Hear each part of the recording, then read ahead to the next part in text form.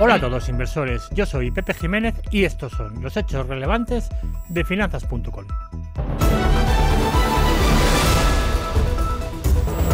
José Colina, director de análisis de la revista Inversión y nuestro faro en los mercados. Muy bienvenido, un saludo amigo, ¿cómo estamos? Muy bien, Pep, una semana más aquí preparados. Una semana más preparados para seguir los mercados y yo sé que siempre están muy interesantes, siempre, siempre nos pilla este podcast con los mercados en plena ebullición. Hay que empezar con el IBEX 35, que ya comentaste tú la semana pasada que estaba ahí mirando con ojitos a los 10.500 puntos. Y bueno, pues una vez más, eh, tu previsión ha sido acertada y lo tenemos por encima de los 10.500, incluso ya eh, rozando los 10.600 Codina hemos dado un pasito más y a ver un poco ahora cómo están las perspectivas del selectivo español. ¿Qué podemos esperar? Bueno, efectivamente comentábamos hace unos pocos días que estábamos viendo una estructura de posible continuación y bueno, pues se ha acabado, se ha acabado materializando y vamos a ver en el, en el gráfico eh, pues las perspectivas que, que, tenemos, ¿no? Realmente mmm, no hay mucho secreto ahí. Eh, blue chips eh, tirando bastante de forma importante. Esta vez se ha apuntado pues al carro telefónica, Inditex con los resultados y evidentemente pues todo el sector bancario que tenemos a varios de sus componentes marcando máximos históricos y evidentemente pues el peso que tiene esto en el, selectivo pues ha permitido que estemos marcando pues que hayamos tocado ya los 10.600 puntos. Nuestra primera referencia que marcábamos teníamos el rango de siguiente, lo teníamos entre los 10.500 y 10.800. Ahora, evidentemente, pues ya tenemos la banda alta de ese, de ese rango que buscábamos en la zona de los 10.800. Y si comprimimos un poco el gráfico, ¿vale? Pues a, a ver dónde tenemos el, la referencia. Eh, que sería bueno pues una, una, proyección de resistencia antigua que tenemos, sin olvidarnos que eh, si completa toda la estructura de continuación que ha estado consolidando durante tres meses prácticamente, de diciembre pues hasta, hasta este mes de a mediados de febrero eh, casi principios de marzo, pues si completa todo el, objetivo que tiene presente, pues nos sigue dando un patrón en los 11.500 puntos, que sería la referencia que tenemos en principio prevista para lo que puede ser este, este año, que también es una proyección cerca de, las, de una zona de techos del, del canal. Ahora, ¿qué puede pasar? Bueno, evidentemente, pues otra, otra, otro intento de subida. Lo lógico sería que hubiera una consolidación en torno a estos niveles, entre los 10.600 y 10.800 podemos tener una nueva eh, consolidación si eh, pues en Estados Unidos y el resto de índices pues también se lo, se lo toman, pero bueno, hay que constatar de momento que la fortaleza en Europa es considerable. El DAX ha hecho nuevos máximos históricos. De hecho, uh -huh. si miráramos el IBEX 35 eh, en retorno total, también ha marcado nuevos máximos históricos. Uh -huh. O sea, eso no hay que, no hay que perderlo. No, no hay que olvidarlo, efectivamente si comparamos índices eh, de forma correcta como el DAX y el IBEX, el, el IBEX con retorno a, a, con dividendos, pues realmente pues estarían los dos marcando máximos eh, absolutos. También el Eurostox ha atacado la zona de los 5.000, con lo cual, bueno, pues las bolsas siguen manteniendo esa fortaleza. Bueno, Corina, nos quedamos con que el fondo del mercado es bueno, eh, a pesar de que acaba de venir el BCE y acaba de de un poco también retrasar las expectativas de rebajas de tipos. Eh, parece que la inflación preocupa, pero ya no sé si preocupa con la boca pequeña o es el mensaje típico de cautela que mandan todos los bancos centrales. No sé, Codina, no sé qué, eh, cómo, cómo, encaja el BCE en todo esto, si nos puedes poner. Bueno, pues un poco de luz. encaja en que hay voces en el BCE. Eh, hoy mismo se han oído declaraciones de uno de sus, de uno de los banqueros centrales que estaba diciendo que esperaba ver dos subidas, eh, dos bajadas, perdón, dos bajadas de tipos antes de vacaciones. Eh, si esto es así, eh, las reuniones de junio y de, julio, pues se deberían poner mucho las pilas para, para eso. Hay incluso quien ha hablado de, de, abril, lo que me parece un poco todavía apresurado, salvo que pues las cifras sigan, sigan mostrando eso, porque te, tenemos la, la doble pugna, ¿no? Una, la inflación que sí que puede ser que en este último tramo le, pues, le pueda costar algo, algo de bajar, pero sabemos que eh, en estos primeros meses del año es normal que tengamos estos pequeños repuntes por los ajustes de precios que hay en muchos, eh, muchos servicios, eh, pero también es cierto que los datos macroeconómicos de lo que respecta al crecimiento económico pues siguen deteriorándose a marchas mm, relativamente forzadas, ¿no? Y si acabamos provocando una recesión, pues evidentemente va a costar va, a costar mucho, lo van a penalizar mucho los, los mercados. Bueno, yo sé, habrá que estar atento a todos estos detalles que comentas. Eh, de momento nos quedamos con, la buena marcha del IBEX 35, que sin duda, como ya has dicho, es producto del comportamiento de los pesos pesados, de los blue chips, y entre ellos esta semana Inditex, que ha presentado unos resultados de récord, con un dividendo por acción de 1,54 euros, el mayor de su historia. El mercado le premió con alzas del 7%. Ya dijiste tú a dos, tres semanas que, bueno, que el valor apuntaba a 43, 44 euros, eh, incluso 45. Ahí lo tenemos ya, de nuevo otra previsión acertada, Codina. ¿Y ahora qué, qué hay que esperar de Inditex después de este subidón que se ha pegado? Bueno, aparte de las pullitas de, de los de Podemos de siempre que van a decir con esa subida del dividendo que don Amancio se embolsa 2.850 millones. Pero, pero es para Amancio Ortega y para millones de ahorradores que son accionistas. Y para el resto, sí, sí. Lo que pasa es que él es el que se lleva la, la parte del, del, del, león, ¿no? Eh, pero bueno, ciertamente, mm, vamos a ver el gráfico también, vemos cómo el, valor sigue dentro de una tendencia alcista impecable. Em, teníamos, tenemos la proyección mayor eh, si va a buscar la zona zona de techos del canal después de esta ruptura, pues en el nivel de los 48, de los 48 euros, sería nuestra siguiente referencia, tras haber tocado ya hoy la zona de los 45, evidentemente pues aquí dejo un hueco que en este momento pues la zona de los 42 pasa a quedar como, como soporte si tiene que hacer retesteos o consolidaciones, sería interesante que no se situara por debajo de, de este nivel. Pero lo que sí es cierto es que eh, esas referencias le pueden costar porque realmente las cuentas han sido espectaculares. El tema es qué margen de mejora le queda a esas, a esas cuentas. ¿Las va a poder mantener o no? Eh, bueno, pues eso es lo que habrá que ir viendo y el mercado pues lo premiará en la medida de que pueda cumplir con, con las previsiones y con las expectativas que ha dejado que realmente son muy, son muy altas, ¿no? Pero un 7% que se metió con los resultados Inditex es mucho, Codina, ¿eh? para una compañía como Inditex. ¿eh? Es sí, mucho. sí, sí, sí, no, no, no. Es de los, eh, si repasamos eh, la historia, es de las de las subidas mayores que ha podido acumular en una en una única sesión. Pero es que bueno, realmente eh, las cifras eran muy buenas. Sí. Sí, sí, y sobre todo el impacto que tiene pues ese incremento del dividendo, una compañía que aparte de la revalorización que tienes en precios, sigue retribuyendo de forma generosa a sus accionistas. Bueno, pues vamos con otra compañía que sigue muy de cerca, Codina IAG. Moody's acaba de colocar toda su deuda, todos sus bonos en revisión para posible subida. Ve muchos brotes verdes, Moody's sobre todo por lo que a ellos les importa que, pues, eh, que es por el lado del crédito, ¿no? Del balance.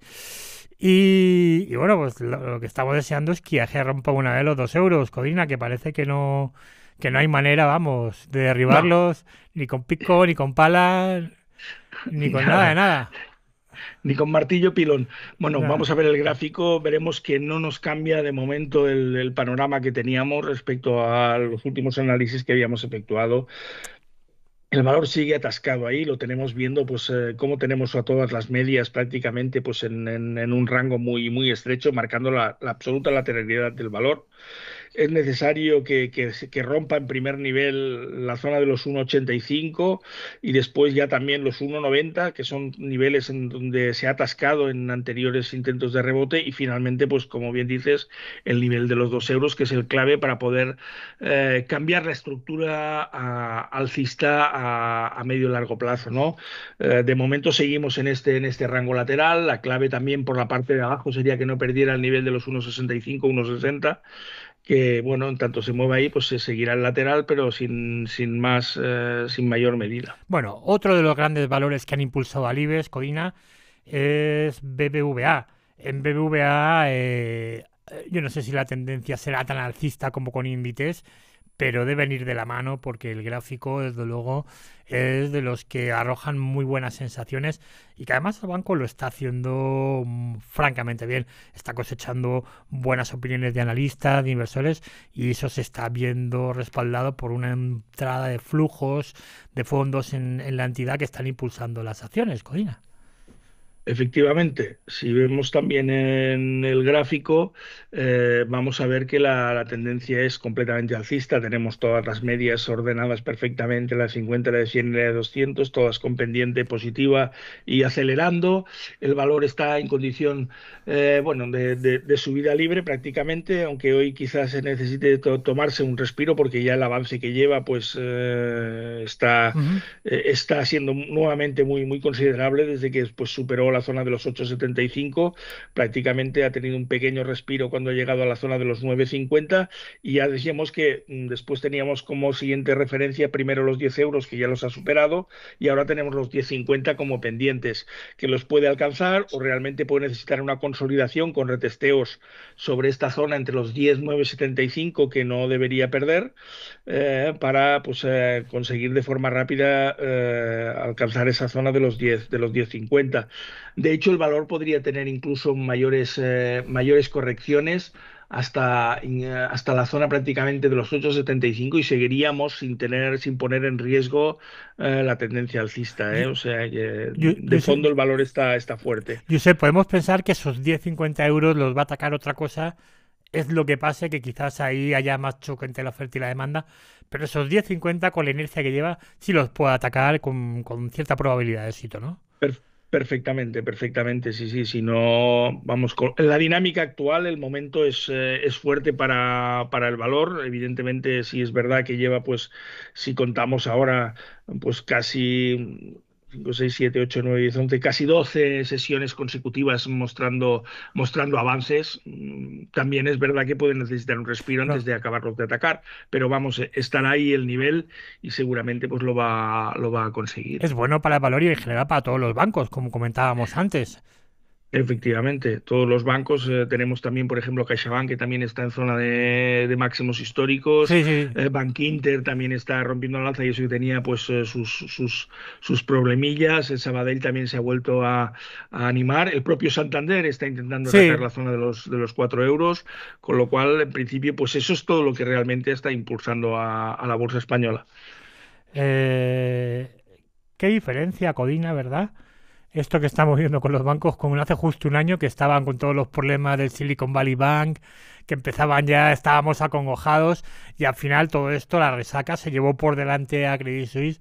Estábamos que no nos cabía la camisa en el cuerpo. Qué diferencia de, entorno, ¿verdad? Codina, cómo cambia un ejercicio a otro, en realidad.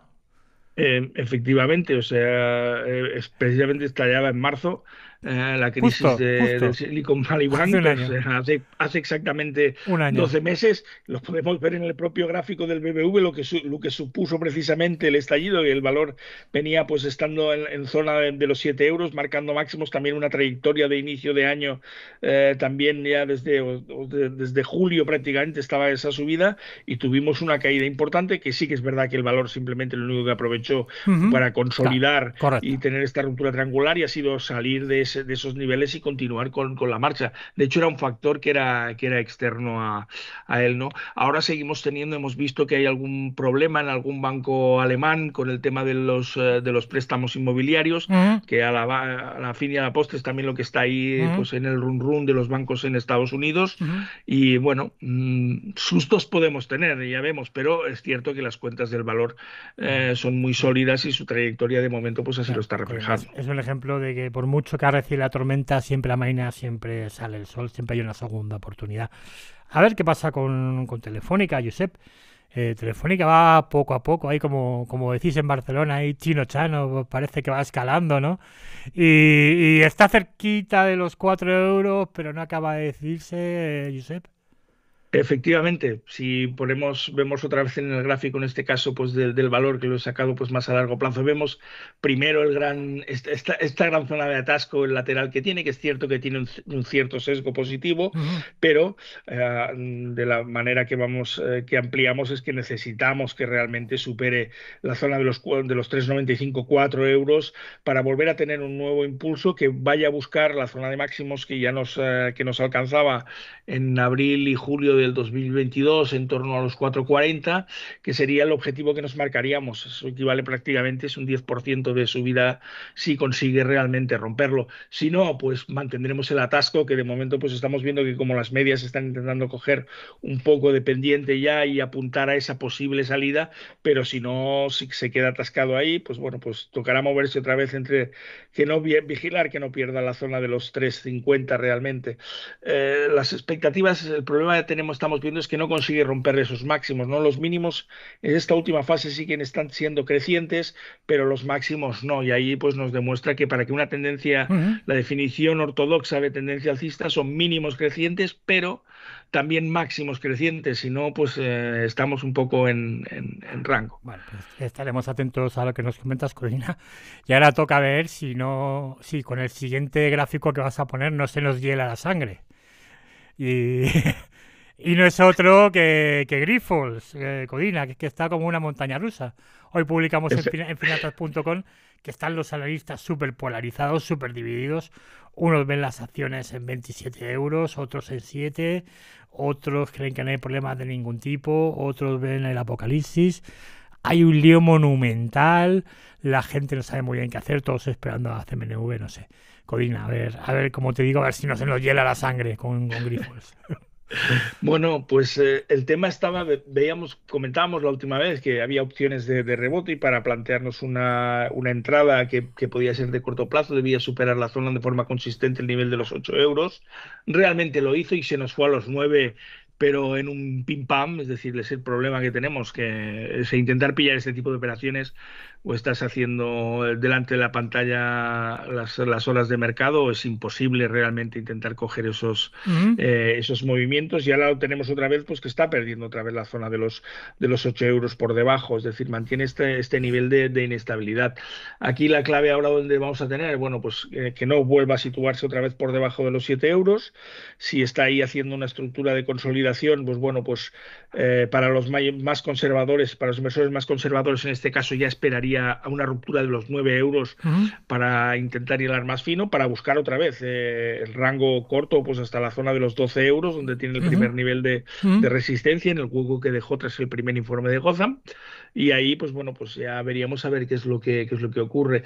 Y de momento, pues si vuelve otra vez a plantearse la zona de los 7, tendríamos que ver a un patrón muy claro de vela para poder eh, de alguna forma mm, entrar más, más por debajo y eso sí, pues con el stop ajustado a los niveles de, de, los mínimos previos que hemos visto que, que ya están bastante también, que son bastante bajos porque se fue a buscar la zona de los 6,40, 6,37 eh, exactamente. Por ahora, Codina, entiendo que los 8 euros es importante que no se aleje por debajo para intentar tener alguna opción, ¿no? Exactamente, y que intente consolidarse por encima de ese nivel, que demuestre que se puede ser un soporte que puede ser fiable eh, a medio plazo y a partir de ahí, pues bueno, pues activar la entrada, ya digo, a partir de los 9 euros. Bien. Sería ahora más conservador que antes, visto las, los movimientos tan volátiles que está teniendo con publicaciones de informes un día sí, otro no, y a la espera de, como bien has dicho, de la CNMV. Bien, Codina, pues vamos a ir rematando. Ya dejamos la bolsa española, damos el salto a Wall Street con con un valor que está muy de moda, lleva un tiempo muy de moda, pero ahora sobre todo eh, más por el tema de la inteligencia artificial. Se habla de que puede haber una burbuja, puede que no, no, no está muy claro, pero es Nvidia, Nvidia al que los analistas de Bank of America acaban de colocar un precio objetivo de 1.200 dólares, que parece estratosférico, pero, pero no sé si es posible o no, Codina, a ver cómo, cómo lo ves tú es perfectamente alcanzable. Es decir, eh, estamos hablando de un, de, un, valor de una compañía eh, que eh, tiene el 75% de cuota de mercado y con unos márgenes que pueden oscilar en torno al 30%. Si es capaz de a futuro mantener esta, esta situación, el valor puede continuar eh, subiendo, que ahora realmente pues, eh, pues ha llegado a los niveles, eh, tiene vértigo al situarse en la zona de los de los mil dólares, pues evidentemente pues está claro que, que, ahí le puede, le puede costar.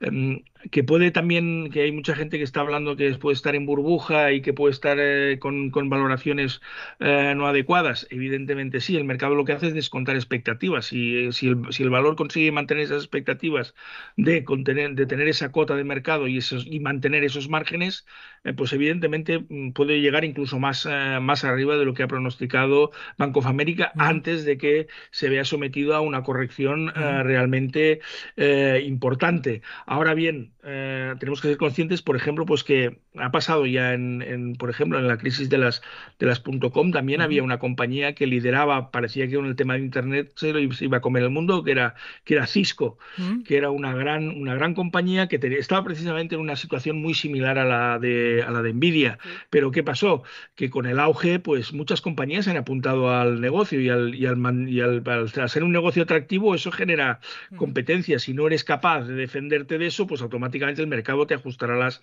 las valoraciones. También habría que ser un poco prudentes en los niveles actuales porque vamos a ver, la capitalización en estos momentos de aproximadamente de, Nvidia está en los 2, los 2000 2.300 millones.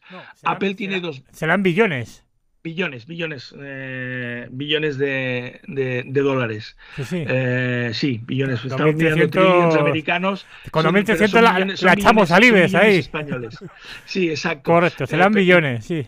Exactamente, pero para que tengamos una referencia, por ejemplo, Apple está capitalizando en dos, y eso lleva unos días corrigiendo, en, en 2,6 eh, billones de, dólares. Es decir, hay muy poca diferencia de capitalización, pero si en cambio comparamos los beneficios que saca Nvidia y Apple, pues vemos que Nvidia solo saca 29.700 millones aproximadamente de 29.760 millones de, dólares de beneficio y Apple está en los 100.000 millones de beneficio. Con lo cual, probablemente algo de, expectativas también de, ahí también está. Y a nivel de, por ejemplo, de ventas, eh, las ventas de, Nvidia están en torno a los 60.000 billones y Apple está en 385.000. Con lo cual esa diferencia de capitalización eh, pues obliga a tener prudencia, lo cual no, no quiere decir que, no vaya a poder continuar porque realmente está en una posición dominante de mercado. Muy brevemente con Nvidia, yo sé que llevamos mal de tiempo. Eh, danos algún nivel de trading para ver que para quien quiera entrar, un nivel de entrada, un soporte. Ah, justo ahora está haciendo un patrón de un poco, una estructura, si vemos el gráfico, una estructura un poco también de consolidación de ese ataque primero que ha hecho a los ah. mil. Ya sabes que nosotros eh, somos muchas veces partidarios de entrar en las rupturas de niveles, la anterior que teníamos marcada, y de hecho nuestros suscriptores eh, pues arrancaron prácticamente, la tienen arrancada desde este, estos niveles, y llevamos una temporada con, ah. con ella. Yo esperaría ahora pues que, rompiera máximos, realmente, romper máximos porque nos permitiría ajustar unos stops eh, correctos, es decir, que fuera a buscarse la zona de los 980 eh, dólares Ahí me ajustaría un stop um, del 10% más o menos, es decir, en torno a los 900. Colocaría, colocaría el stop y iría a buscar precisamente pues, ese nivel de los 1.100, 1.200 dólares que va a buscar Bank of America. Perfecto, Codina. Y rematamos con otra de las inversiones estrella del año, el Bitcoin, que acaba de superar otra vez máximos históricos. Ahí tienes tu, tu gráfico, que es en este caso es el de los futuros, ¿verdad? Sí, sí, exactamente, es el gráfico de, de los futuros. Pues a ver. Bueno, eh, está en, su vida libre, o sea, de momento no podemos decir nada. Siguiente objetivo, los 75.000, que está ahí a tocarlo, con lo cual ya lo puede, lo puede seguir eh, reventando. No tenemos muchas más, eh, muchas más proyecciones posibles a hacer, ¿no? después que superó. sí que es interesante es que ahora la zona de los 70.000 debería estar actuando como, como primer soporte a corrección, ¿vale? Pero ya sabemos la volatilidad que, que tenemos yo entiendo que eh, eh, el tema del halving ya tiene que estar incorporado en el precio porque es algo que está que es, que eh, es conocido. el problema es que no te creas, los flujos... no te creas, Codina. hoy leía en la prensa estadounidense a unos compañeros un buen reportaje que hablaban de con, con, con, la cantidad de dinero que ha entrado en estos meses en el Bitcoin. Eh, es posible ver hasta un movimiento parabólico, es decir, un movimiento parabólico de estos que se alejan hacia el infinito, ¿sabes? Que a mí me cuesta verlo, pero hay analistas que hasta se lo están pensando ya en, ver un movimiento parabólico. Me parece mm, quizás ser demasiado optimistas, pero, pero es que así está el estado de optimismo con el Bitcoin. Déjame una cosa, si pongo el Bitcoin en escala logarítmica para verlo así, realmente si vemos la estructura, ya, ya la empieza a montar, ¿eh? es decir, que sí que es posible ver ese movimiento tipo de movimiento en el, en el, en el valor, sí, sí. Ya, o sea, no, es, no es descartable. El tema es, claro, aquí, por ejemplo, pues los inversores europeos las, seguimos viendo venir hasta que no aprueben los ETNs uh, o que domicilien estos, estos, estos fondos en Luxemburgo y podamos tener acceso, pues de momento la vemos venir. Habrá que esperar. Bueno, Josep, pues nada, eh, como siempre, agradecerte todos tus análisis, toda tu visión del mercado y, y emplazarte a, a, una próxima ocasión de los hechos relevantes de finanzas.com. Un saludo, amigo. Hasta luego. Y a vosotros, inversores, inversores por supuesto, agradeceros eh, vuestra atención, desearos buenas inversiones y lo mismo que a Codina, os vemos en un próximo episodio de los hechos relevantes de finanzas.com. Un saludo a todos.